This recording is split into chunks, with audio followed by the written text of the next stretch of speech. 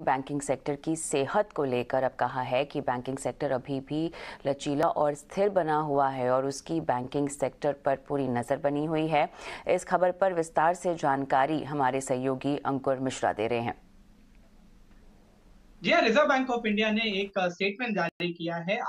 आपने देखा होगा कि अडानी ग्रुप कंपनीज़ की वजह से बहुत सारे स्पेकुलेशन बहुत सारे न्यूज़ रिपोर्ट्स जा रही थी तो यहाँ पर रिज़र्व बैंक ऑफ़ इंडिया ने क्लैरिफाई किया है कि जो इंडियन बैंकिंग सिस्टम है, उसकी हेल्थ स्ट्रांग बनी हुई है। साथ ही साथ जितने भी पैरामीटर्स होते हैं, चाहे वो लिक्विडिटी रेशियो हो, चाहे वो कैपिटल रेशियो हो, सारे बैंकिंग के जो सिस्टम में जो पैरामीटर्स हैं, वहाँ पर बैंकिंग हेल्थ स्ट्रांग है।